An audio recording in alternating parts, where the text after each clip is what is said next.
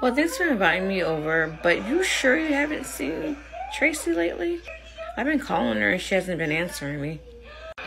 No, Abby, I haven't seen her. I mean, we had got into it, but probably a couple days ago.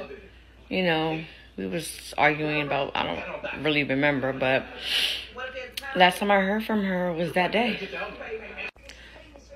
Okay, Stacy. Well, if she do come by or call can you just please tell me that I'm looking for her and I'm a little worried? Of course I will, Abby. I will definitely let her know that you're looking for her, okay? Have a good night. Oh, okay. You have a good night too. See ya. Trace. Trace, you're in there? of course you are. You had a little visitor. Mm-hmm. Mm-hmm.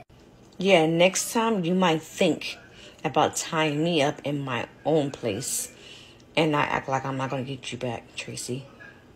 Remember that.